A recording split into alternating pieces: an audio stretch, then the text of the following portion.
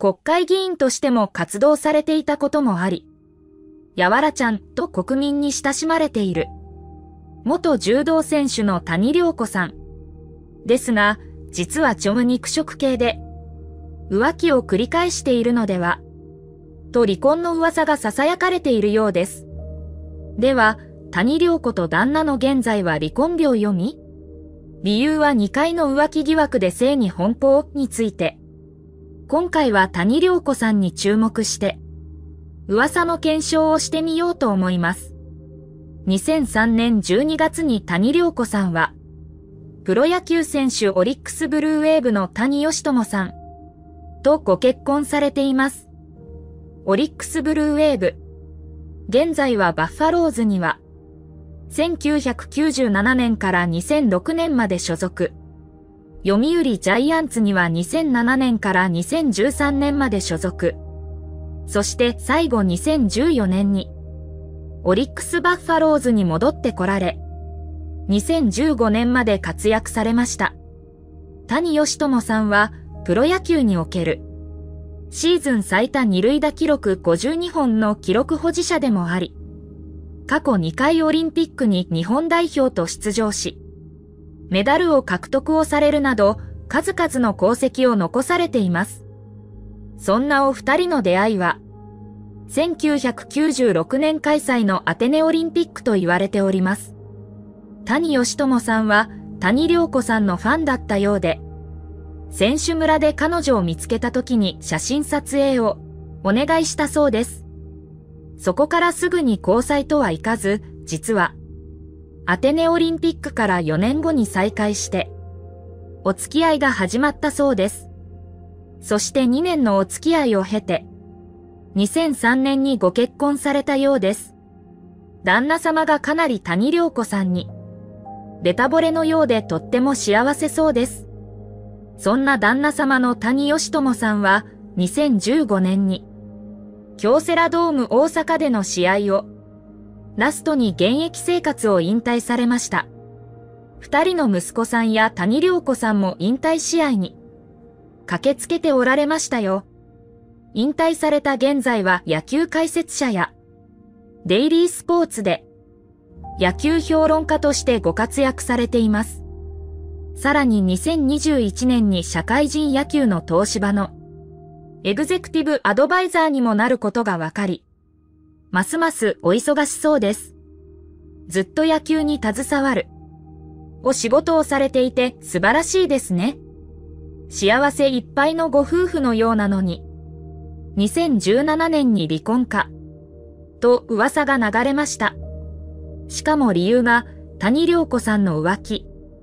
ということでとても驚きました。子供の頃から柔道に打ち込んでいる。可愛らしいやわらちゃんのイメージしかなかったので、かなりの衝撃でした。こんな風に感じた方が多いのではないかと思います。結論から言うと、不倫報道は2回ありました。1回目の不倫疑惑。施設秘書の M さん。この浮気疑惑は2012年、議員になられて以降に起こったのですが、噂になったお相手が、施設秘書の M さんとのことです。この M 氏は、小沢一郎さんの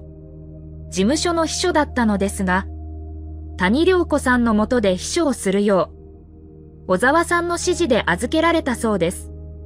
それから男女の中に発展してしまい、地方出張の際は M 氏は必ず同行、というのがお決まりだったようです。さらに事務所でも公然とイチャイチャしていたそうで、ベテラン女性秘書が痺れを切らし、いい加減にやめましょうよ、と注意したそうですが、二人に逆切れされ、嫌気がさして退職されたそうです。職場でそんなこと上司がしてたら嫌になりますよね。恋は盲目なのか、周りの人の意見は、耳に入ってこなかったようですね。谷良子さんのこの不倫報道後、谷義智さんは2014年オリックスに移籍を決断し、現役最後のシーズンとなるのは予想できたでしょうが、谷良子さんは議員活動があったり、お子さんを転校させるのは嫌だと、お子さんと東京に残られ別居生活になってしまい、離婚説の噂が広く知れ渡ってしまいました。2回目の不倫疑惑。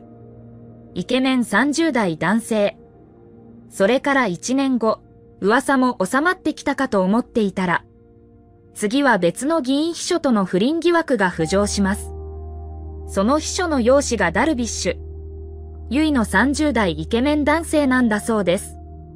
この報道内容に谷良子さんは焦るどころか、ご機嫌な様子だったとか、このダルビッシュ寺の秘書さんが、谷さんのお子さんの幼稚園の送り迎えをしていたことから、不倫や離婚を噂されたようです。こちらは2018年にバラエティ番組にて、最後の移籍先に単身赴任となった時は少し揉めた。と当時を振り返り、お話されている様子です。二つの不倫報道は確かな証拠で画像が出回っていたりするわけではないので、政治家さんの陥れ作戦だと思いたいですね。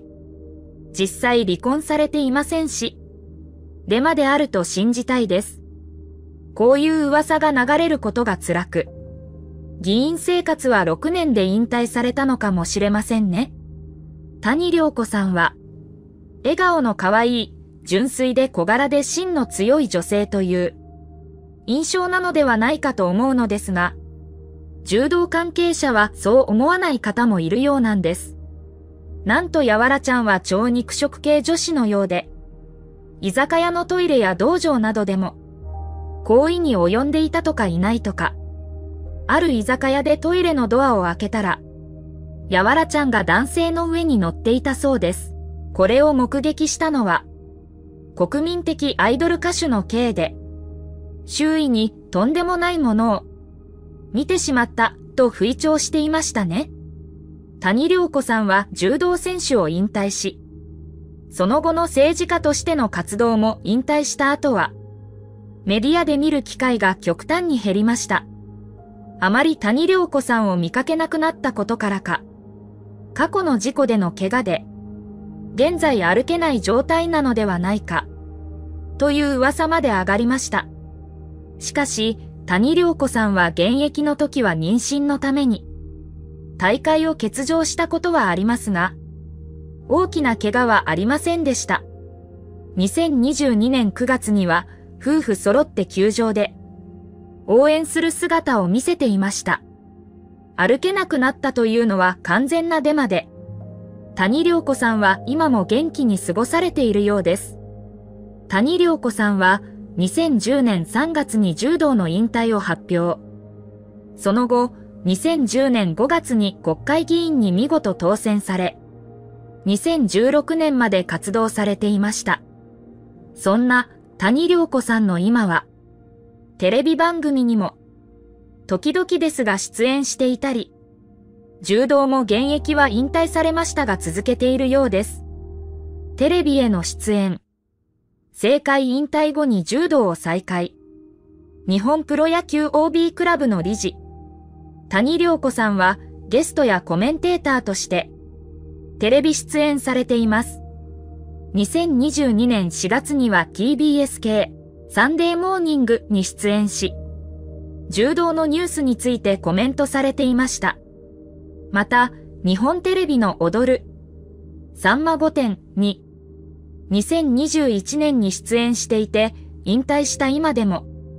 人の歩いてる姿見ると、技を反射的に考えてしまうと明かしていました。さらに2018年に出演した時には、谷良子さんは寝技をスタジオで披露していて、寝技を味わった武井壮さんは、何もできなかったと一言。谷良子さんは2016年の政界引退後に、柔道を再開しています。そして2018年には柔道4段だった。谷良子さんは6段に昇段。そのことについて谷良子さんは、初めて初段で黒帯を取った時の、ような嬉しい感覚だと、喜びを表現していました。金メダリストで前参議院議員の谷良子氏が、女子6段に昇段したことが、14日に東京行動館で行われた鏡開き式で発表された。また、商談したことで将来、国内外を問わず指導者となることも、選択肢の中で大きくなったと話していました。谷良子さんは2022年6月から日本プロ野球 OB クラブの理事を務められています。日本のスポーツ界全体を盛り上げていきたいという意向から選任されたようです。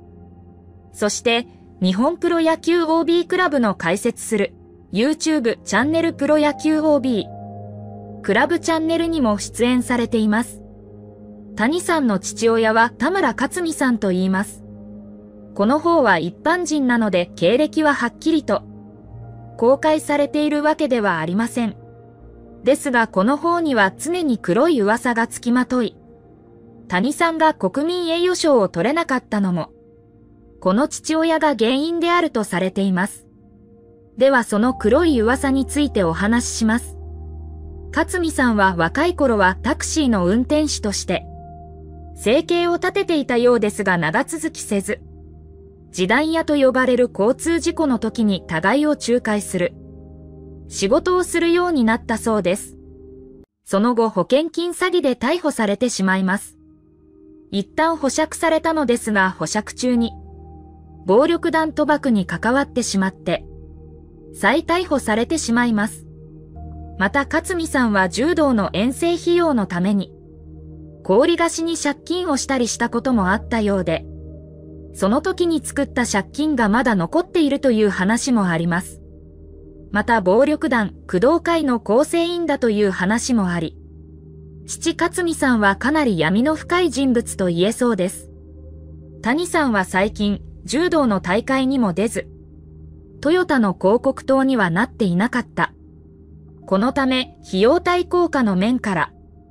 こちらは契約金の減額を提示していたのですが、谷さんサイドはそれを飲めないと主張していました。何でも家族のためにお金が必要だとか、とにかく資金的にかなり困っているようでした、と、トヨタ自動車関係者は言った。柔道選手時代はトヨタ自動車に所属していた谷さんでしたが、政治家に転身したのも、勝美さんの借金返済のためだったのかもしれません。お金のために政治家にはなってほしくないですけど。最後までご視聴いただき、ありがとうございました。何かございましたらコメントください。よかったら高評価とチャンネル登録もよろしくお願いします。ではまた次回でお会いしましょう。